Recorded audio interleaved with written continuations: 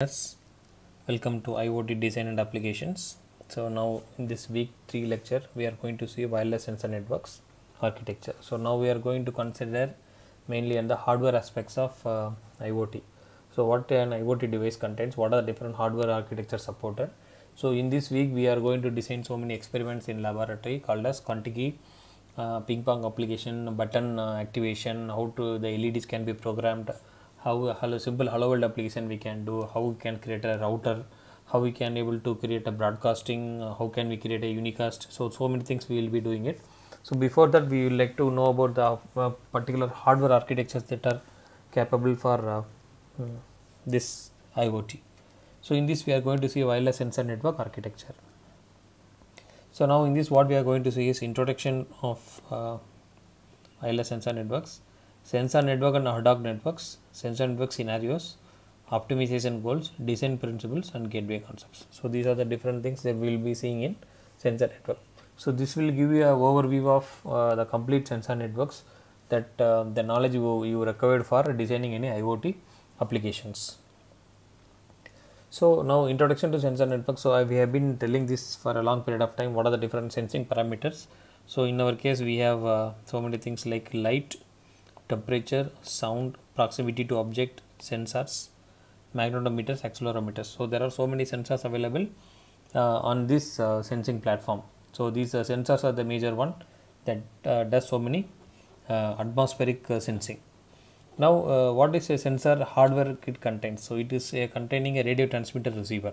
So usually we called as a ZigBee or 802.15.4 with a 2.4 gigahertz radio.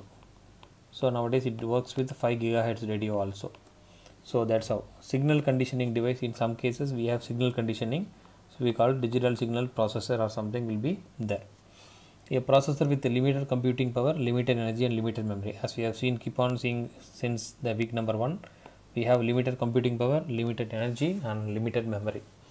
So, so many sensors are available. So sensors is not limited. They are very unlimited nowadays so we have seismic we have light we have acoustics we have pressure we have temperature and, and there are actuators in some cases. So not all sensors might be having actuators but some boards will be having actuators.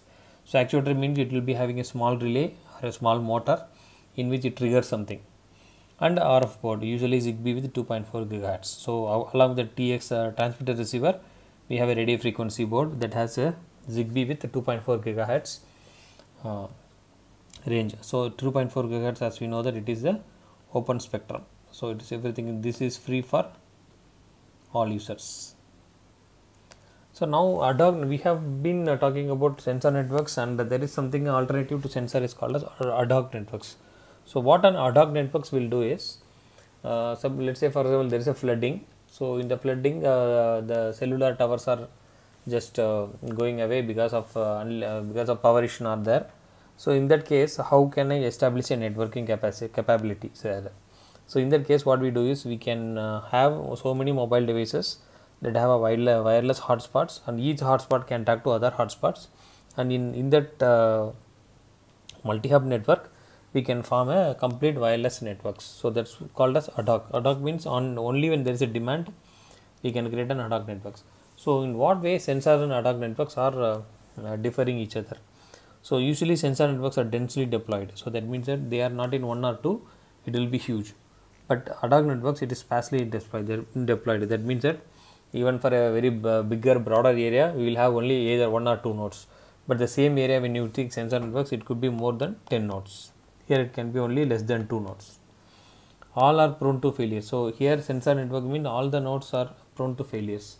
The failure rate is very high. Whereas here it is, it is always run alternate paths may be taken if some fail. So even if one or two node fails, so there will be an always an alternative path. So further we have so many protocols called as AODV, DSR, DA, OLSR like that. There are so many protocols. So each pro according to the protocol, they will take alternative path. And the topology is dynamic. So dynamic topology means the topology keep on changes.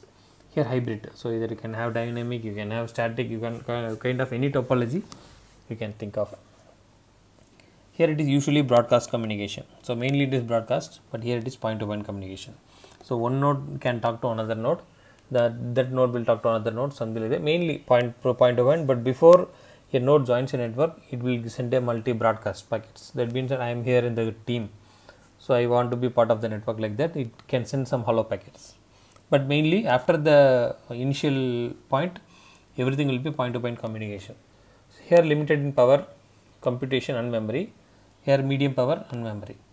They have common goal. So please remember this is one of the challenging thing here is in sensor networks the entire network have a common goal. That means all the nodes in the network have a common goal. So let's say if, I, if my job is to sense the radiation and report it. So all the nodes are their goal is to sense the radiation and report it. So to whom to report how it is reporting there is a challenge.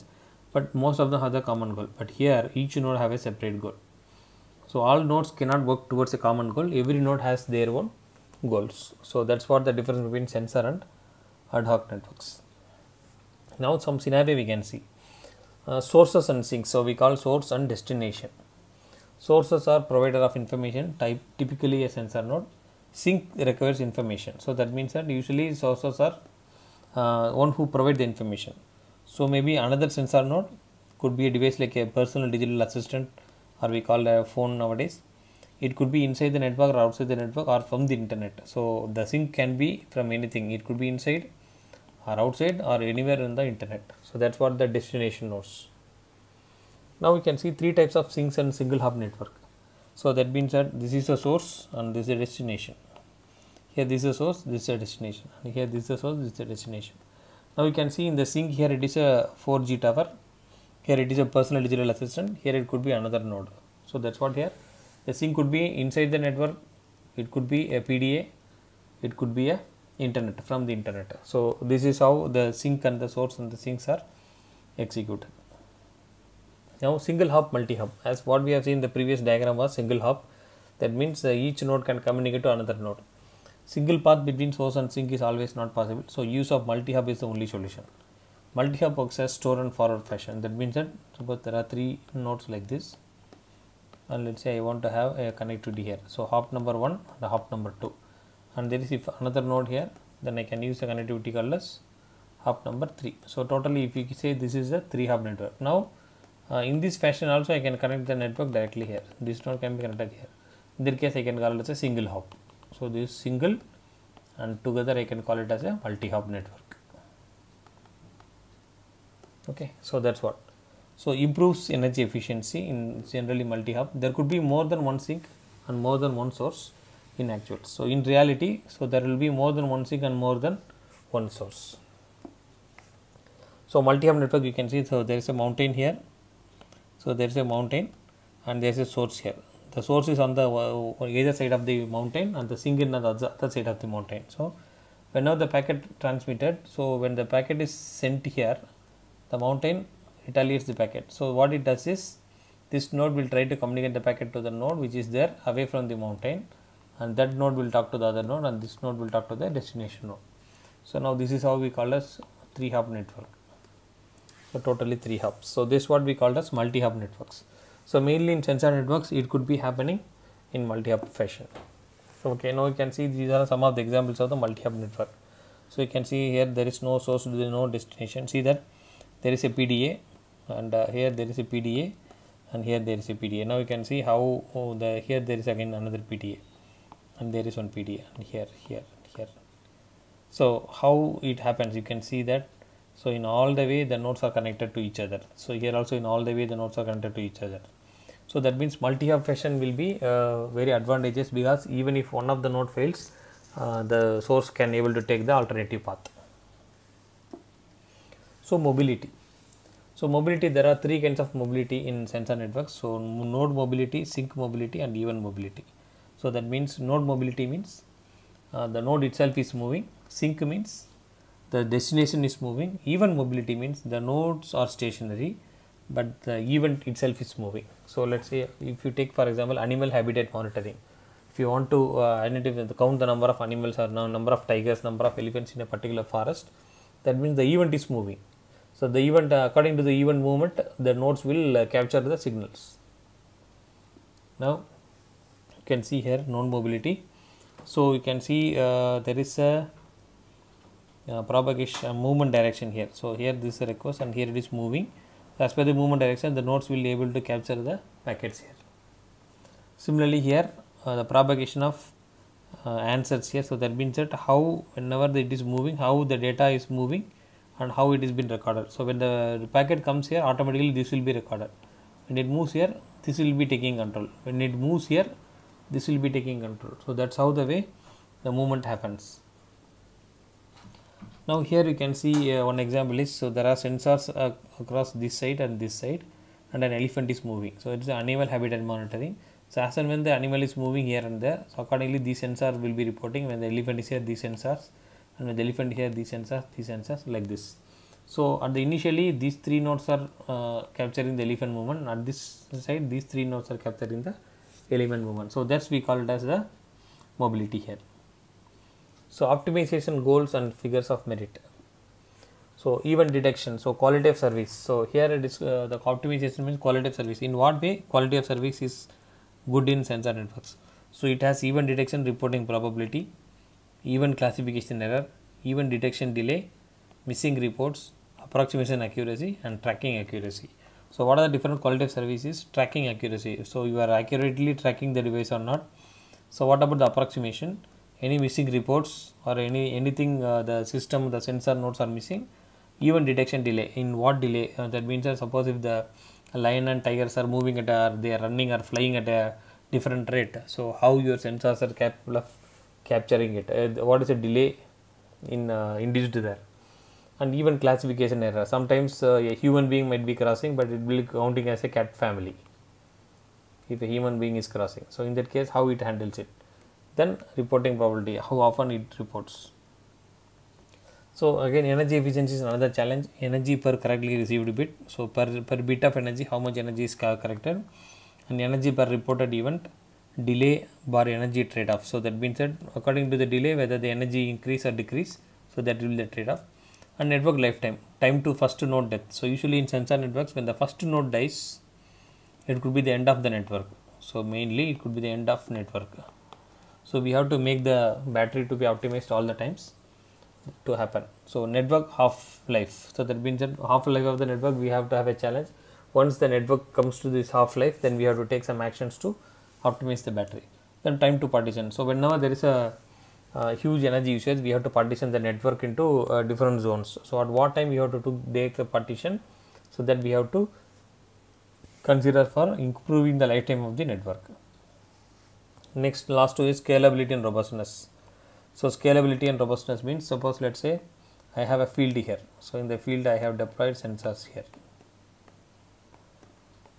Let's say I have deployed 9 sensors here so this is the field so now what happens so nearby there is another field so now this field also this area also now covered into the picture so as long as these 9 sensors are there uh, there is no issue they can cover the interior now I want to scale this along because I have increased the area. So now what I do is I simply deploy one more sensor here to cover this area as well as this area.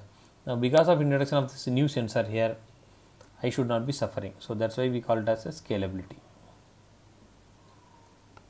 And robustness means uh, even uh, uh, whatever happens, the network will never be affected.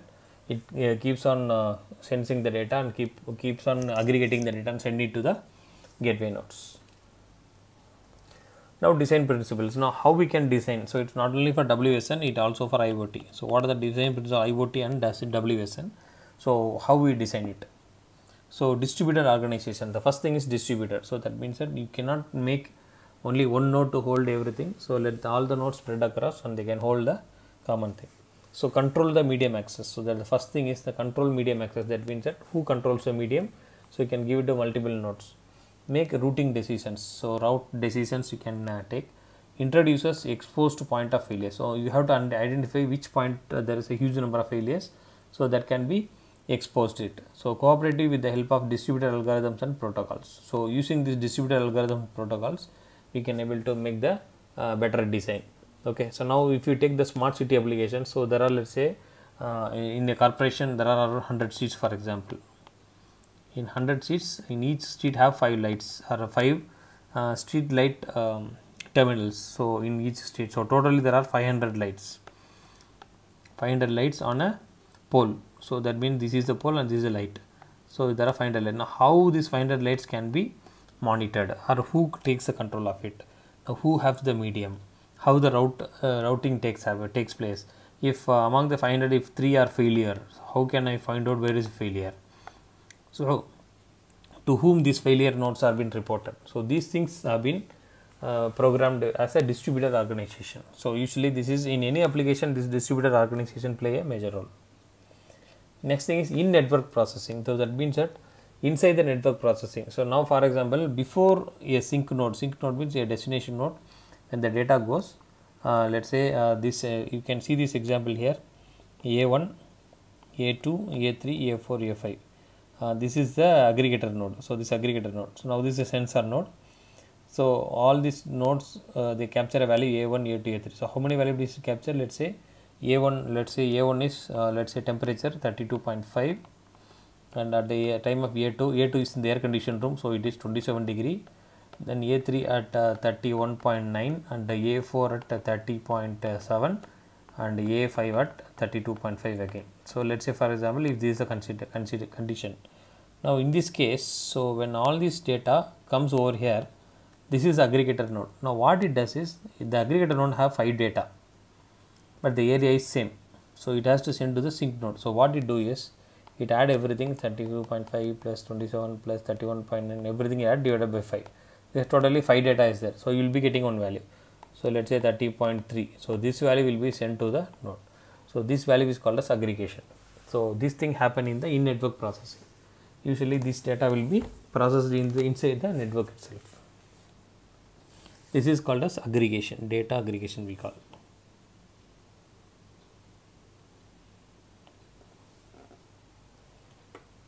so here there's aggregation.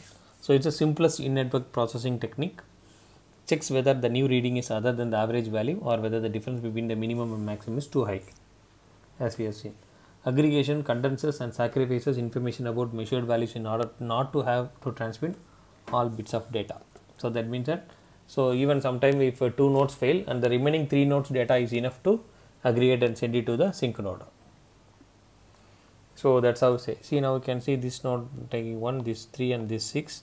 And now in this case everything is one. So the optimization is energy and uh, energy calculation and everything is optimized. Delay everything is optimized here. So that means that aggregation is a very great technique uh, that has been adopted in most of the wireless sensor networks applications. So distributed source coding and distributed compression now we have distributed organization. Now source coding and uh, distributed compression. It is related to coding and compression problems known from conventional networks where a lot of effort is invested to encode for example a video sequence to reduce the required bandwidth. Sometimes a video sequence can be processed using a sensor network. So let's say for example uh, unmanned aerial vehicle. So you are sending a vehicle that's a sensor uh, let's say a CCD sensor charge coupled device camera sensor. So you want to capture some uh, video sample small video samples of let's say 3 second duration. You want to send it so in that case uh, how we can able to do that? Because sensor nodes are miniatured uh, they are having low computing power low energy and uh, low processing power. So in that case how that can be happening? So that means uh, the readings from the adjacent sensor may be quite similar so the results were correlated. So we have a correlation coefficient based on two different video recordings or two different samples of data collected from the sensors. So that's what we called as distributed source coding and distributed compression. Compression also happens at a given point of time. So mostly the compression will be happen with the help of tar uh, zip compression bz zip compression then lez ma compression like that. So there are so many compressions that we can able to uh, each and every sensor node they compress the data and send it. So that uh, the data sent will be very less compared to the original data.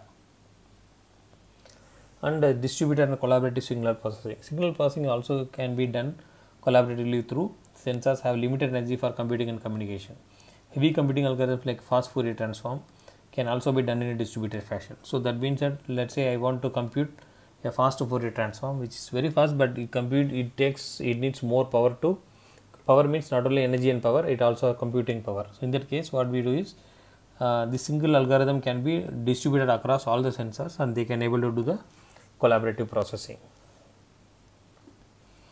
So mobile code bar agent based networking a small piece of code from a node to node and execute locally on the node to collect process some information and then passed on to the other node so it's kind of an agent so agent means like say you take example a tcp agent it's a transport agent similarly we have a mobile agent so the mobile agent will go from node to node and whatever the node collected data will be captured by the agent and then the agent moves to the next node.